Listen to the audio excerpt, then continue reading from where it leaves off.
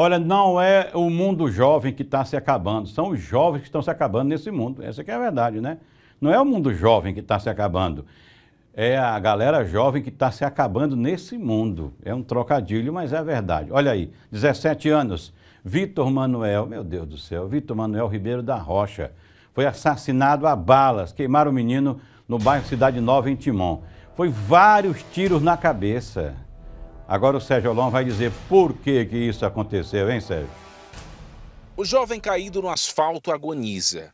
Ele levanta as pernas, parece lutar para se manter vivo mas foram vários disparos que atingiram a região da cabeça de Vitor Manuel Ribeiro da Rocha, de 17 anos. O caso aconteceu no bairro Cidade Nova, aqui na cidade de Itimon.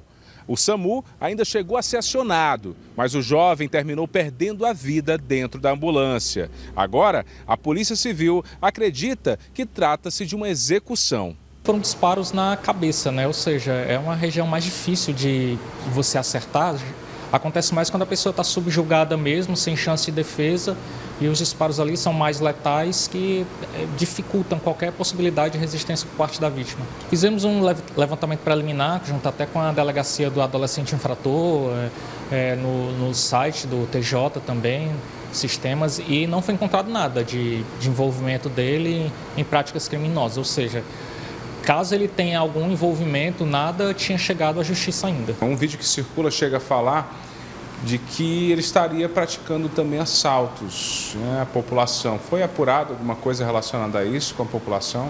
Está sendo levantado, a gente está conversando ainda com familiares, os familiares ainda estão no luto. É, a gente quer deixar passar esse primeiro momento e já, já estamos até com data marcada para ouvir os familiares e tentar entender quem é o, quem é o Vitor, se ele já tinha algum problema com a justiça, se ele estava sendo ameaçado, enfim, para a gente tentar construir a nossa investigação. A Delegacia de Homicídios de Timon segue a investigação desse crime para saber qual a real motivação.